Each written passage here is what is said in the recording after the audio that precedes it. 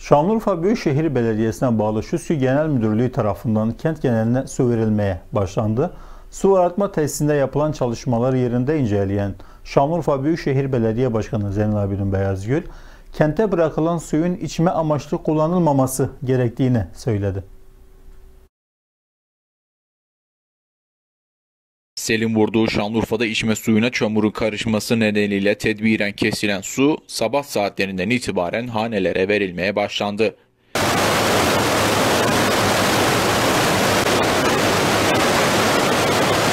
Şuski Genel Müdürlüğü'ne bağlı su arıtma tesisinde analizleri yapılan ve çökertmede bekletilen su kullanım amaçlı şehre verilmeye başlandı.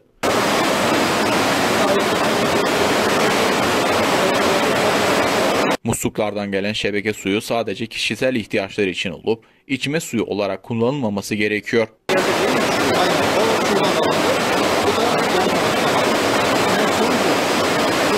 İkinci bir açıklamaya kadar vatandaşları musluktan gelen şebeke suyunu içme suyu olarak kullanmamasına dikkat etmelidir.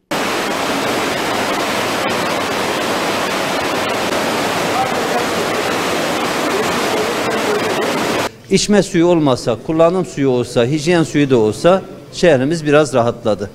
Bu dönem içerisinde tabii ki biz de boş durmadık. Hemen tankerleri organize ettik. Hem çevre illerden hem kiralama hem de kendi tankerlerimizi organize ettik. Şehrimizin belirli noktalarına sularımızı tankerlerle ulaştırdık.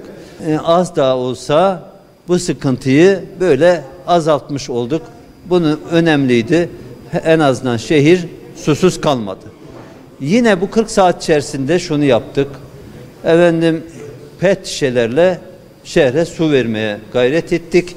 Yine burada AFAD'la koordine halindeydik. AFAD'a çok teşekkür ediyorum.